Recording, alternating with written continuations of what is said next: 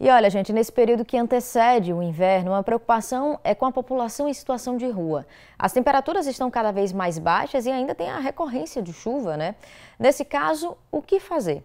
Anderson Barbosa tem outras informações aqui para gente de como as pessoas podem ajudar essa população e quais projetos estão sendo desenvolvidos para esse período, né, Anderson? Pois é, Michelle, inclusive nossa equipe costuma madrugar né, todos os dias para vir ao trabalho e costuma ver com grande frequência pessoas em situação de rua aqui na capital sergipana. Por exemplo, agora nós estamos na Praça General Valadão, que é o coração da capital sergipana, e o Alan vai mostrar aí para a gente, dá para ver cenas como essa, pessoas que fazem das calçadas né, suas camas de cimento e aí passam a noite, madrugada, dá para ver aí, por exemplo, duas pessoas, né, uma com cobertor, outra sem cobertor, né, ali o seu carro de reciclagem. É, você dá para imaginar, nesse momento, aqui a temperatura deve estar entre 22 e 23 graus, ainda tem um ventinho, aquela brisa boa, para a gente tá tranquilo, tá de boa, mas você imagine passar a noite inteira né, num local como esse, essa, esse, frio, esse frio que com certeza traz muitos problemas. Só para a gente situar um pouco, é, de acordo com a IPEA, é, o número de pessoas em situação de rua no Brasil passa de 281 mil. Isso em todo o país. E aqui na capital sergipana, de acordo com a assistência social, o número é de 330 pessoas. Muitas delas ficam aqui justamente na região central. Vou conversar agora com o Gilberto Filho, ele que é coordenador da Proteção Social Especial da Assistência Social da capital sergipana e conhece bem essa realidade. Edilberto, bom dia, bem-vindo. É uma realidade triste que vocês acabam convivendo diariamente. São pessoas que acabam é, ficando nesse espaço porque não tem onde ficar e o sofrimento é grande. Inclusive, passam muito frio por aqui. Bom dia. Bom dia a todos e todas. É uma realidade que precisa ser enfrentada com muita ternura e com técnica, né? Então, a Prefeitura de Aracaju, através da Senfas e suas equipes distribuídas nos CREAS, Centro Pop e Abordagem Social, faz um trabalho diuturnamente de acompanhamento, de acesso às políticas públicas em assistência e demais é, é, órgãos, né, como saúde, educação, num objetivo de minimizar né, o sofrimento enfrentado por essa passada população que é, é o tempo todo acometida com negativas, né? desde as negativas mais simples, né? que é a privação da sua alimentação, a privação do seu direito à moradia, as questões mais complexas, né? voltadas em saúde mental, ao uso abusivo de, de álcool e outras drogas. Então, a nossa, o nosso objetivo, a nossa função é de garantir um espaço de ouvida, de acolhida, né, um espaço de resgate das histórias de vidas e, consequentemente, para objetivar uma transformação do, do seu fazer. Né? Entendemos que é uma população que necessita de intervenções multidisciplinares. Nenhuma política pública isolada vai conseguir dar conta de superar as necessidades sociais que essa parcela da população que vive em situação de rua na nossa capital e nas demais cidades do país necessita desse fazer do poder público. Agora também é importante que a sociedade também faça a sua parte, né? Eu converso muito com a população em situação de rua e a gente é, ouve muito é, o, é, o, distanciamento. Elas falam da questão da invisibilidade. Né? As pessoas passam, ignoram que existe alguém ali, acham que elas vão pedir um tempo inteiro, que vão cometer algum tipo de crime. E não é bem assim. Né? Essas pessoas têm uma história, estão aqui por vários motivos, muitos que não tiveram né, um apoio familiar, algum problema mental, como você bem enfatizou. E a população também tem que ter esse olhar mais sensível, né, mais humanizado é uma redundância, mas é, é ter um olhar mais, mais criterioso e com mais, com mais zelo né, com essas pessoas. Exato, é como falamos inicialmente, é ter, nunca perder a ternura no olhar e no cuidado dessa população. Né? pegando inclusive no, no escrito legal da lei, né, que é dever da sociedade, do Estado, da família, né, zelar por todos esses direitos, né, direitos humanos, né, não importa a condição social, não importa a, a região que ele convive, que ele habita, que ele cria suas relações sociais. Nós entendemos o papel importante de alguns grupos organizados ligados à religiosidade, Né? Nós entendemos que é um parceiro para garantir os mínimos necessários de busca de uma cidadania. Né? Entendemos também a necessidade de somar esforços dentro das diversas políticas públicas para garantir uma, uma proteção integral a esse público e, acima de tudo, criar um sentimento e criar um movimento de que nós estamos lidando com vidas, vidas que têm importância, vidas que têm um, uma riqueza de informações e que ter esse olhar fraterno, esse olhar de ternura, também nos garante uma reconstrução enquanto indivíduo, enquanto ser humano. E assim, eles têm sim necessidade de alimentação, de cobertores, né, questão do frio, mas também essa comunicação, essa conversa é muito importante e ajuda muito essas pessoas. Agora, Edberto, em relação mesmo à temperatura, a gente está se aproximando agora do inverno, a temperatura, a tendência é cair um pouco mais, vem também o período de chuva, mas a gente vê que essas pessoas, muitas vezes elas ficam aqui nas ruas, é, tentam se abrigar. O Alan mostrou agora há pouco ali mesmo em Marquises, né, aqui próximo ao banco, uma situação. O que, é que a prefeitura tem feito para é, dar proteção a essas pessoas? Elas são levadas para abrigos, até porque também elas têm opção de ficar na rua. Como é que é feito esse trabalho? Então, já pensando nesse período de inverno, período chuvoso que se aproxima, né, nós criamos uma estrutura para um aumento do número de vagas nos acolhimentos institucionais.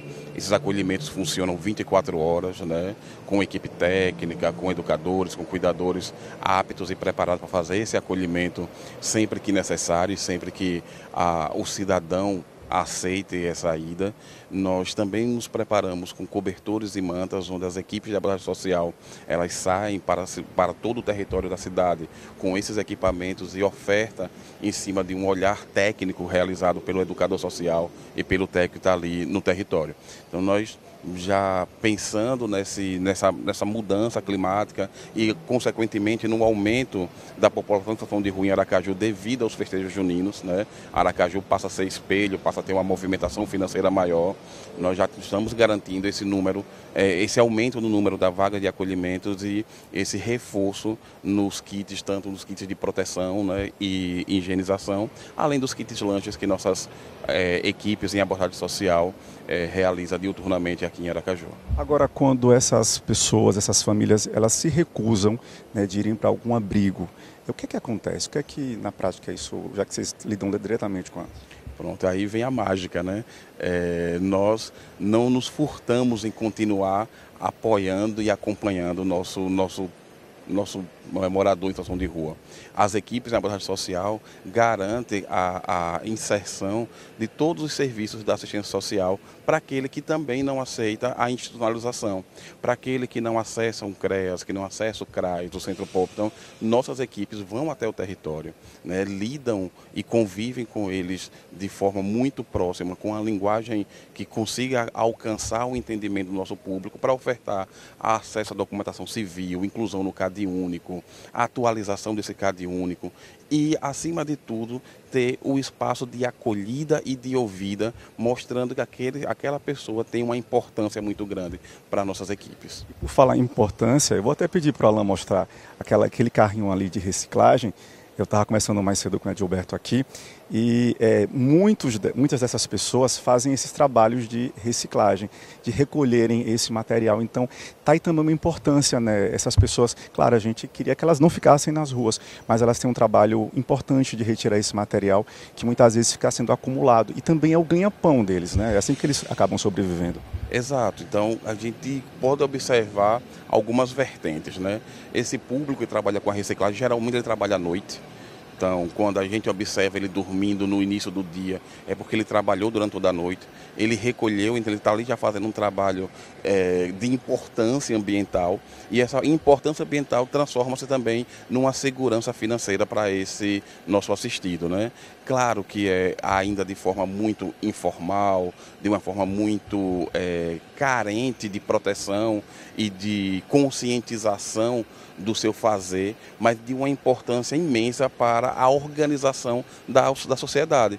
Né? Entendemos que é um papel fundamental nessa engrenagem de, de entender como funciona a vida urbana dentro de uma capital. E aí sim que a gente percebe a importância e quando apura o olhar acaba criando uma visibilidade positiva para o nosso público que vive situação de rua. Inclusive, ontem, na madrugada, nós passamos aqui pela Praça General Valadão, no centro de Aracaju, e nós encontramos uma senhora, né, a Ana Paula, ela tem 31 anos, é uma brasiliense, já mora há muito tempo nas ruas. Ela tem, gente, infelizmente, sete filhos, cinco né, estão em abrigo, sendo cuidados aí né, pelo município. E a gente conversou sobre ela para com ela para falar como é que é o dia a dia, como é que são as noites aqui nesses locais. Vamos acompanhar.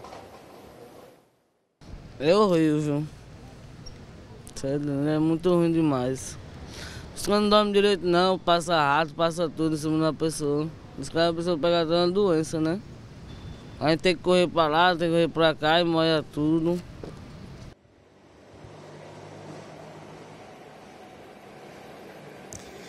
É uma situação bem difícil, né? Ela resumiu bem, né? Ficar quem passa aqui à noite nessas camas de cimento estão sujeitas a qualquer situação, tem a questão de saúde, mas como o próprio Edilberto falou, né, a gente, é, é, inclusive ela se encontra aqui, nesse, aqui é o nosso fundo, né, ela é o esposo, né, e você vê, a situação é bem, bem, bem complicada. Né?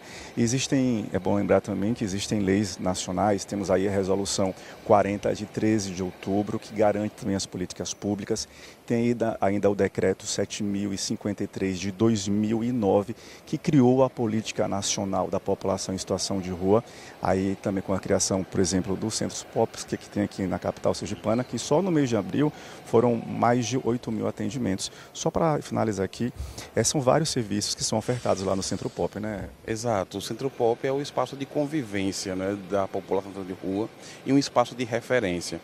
Esses 8 mil atendimentos mensais, eles vão desde o acesso à condição de higienização e segurança alimentar, às questões mais complexas, como os atendimentos técnicos com psicólogos, educadores, assistentes sociais, o encaminhamento ao BPC, a atualização do CAD único, inclusão, fazer os relatórios técnicos para a inserção nas políticas de transferência de renda. Então, é, é, é esse espaço de referência e de busca de cidadania, né? trazendo para a prática o que os editos legais trazem, que é ofertar de forma prioritária o acesso da população em situação de rua às políticas públicas, sejam elas municipais, estaduais ou federais. Roberto, muito obrigado pelas informações, um bom dia e bom trabalho. Viu? Nós que agradecemos e estamos à disposição sempre para cooperar e trazer informações positivas sobre nossa política pública em Aracaju.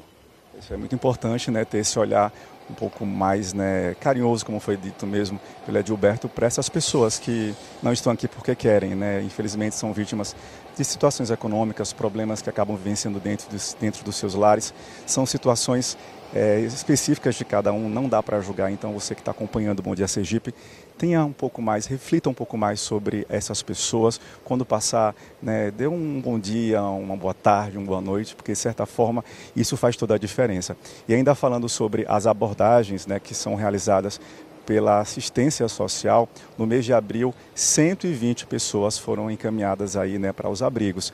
O que acontece muitas vezes é que a gente percebe um número maior de pessoas nas ruas, é, outros períodos diminui porque aquelas, elas vão para os abrigos, nem sempre conseguem ficar, se adaptam e a lei também possibilita né, que elas permaneçam nas ruas. Então é importante respeitar a lei. Vou repetir aqui, são duas leis que a gente precisa inclusive conhecer bem. Né? É o decreto 40, melhor, o decreto, uma resolução 40 de 13 de outubro de 2020 e a lei que instituiu, o decreto que instituiu aí a política nacional da população em situação de rua, que é o 7053. São duas, é, dois marcos reguladores, regulatórios importantes referentes à população em situação de rua. Michele, é isso, que espero que as pessoas aproveitem, né, depois desse bate-papo aqui importante com a Gilberto, ouvindo também a Ana Paula, que possam ter esse olhar um pouco mais carinhoso com essas pessoas né, quando passarem nas ruas, tanto aqui na capital como também no interior do estado, porque também a gente sabe que no interior também aumentou um pouco, sim, a população que vive nessa situação. Eu volto com você. Obrigada, viu, Anderson, pela sua participação. Quero agradecer a participação do Edilberto Filho também.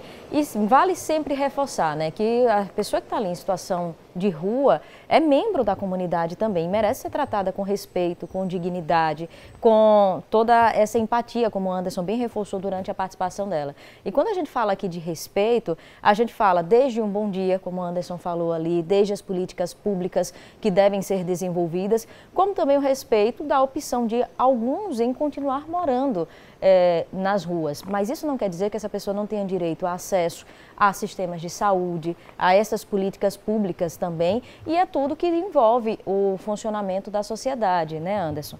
Elas precisam de apoio nosso, enquanto sociedade, e também do serviço público. Obrigada, viu, Anderson? Obrigada, Edberto. Até já com outras informações.